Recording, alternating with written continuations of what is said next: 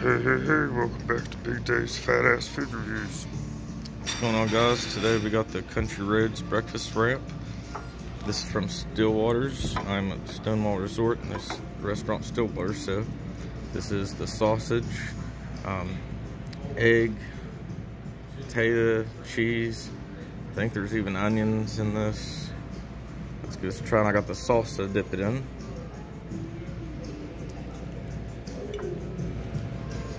Let's see this, pour a little out here.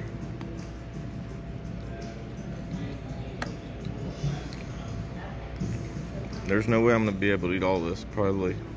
Probably not even half of this because the weight loss medicine. That was everything. Oh, good. good? It's good, thank you. Thank you.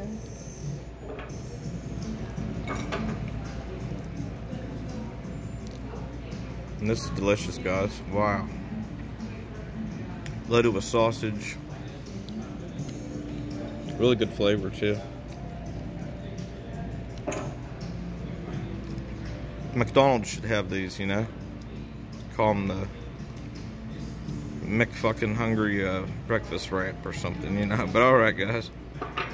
For the Country Roads breakfast wrap, I'm going to give it a 9.5 out of 10. It's delicious. Alright, guys. Take care.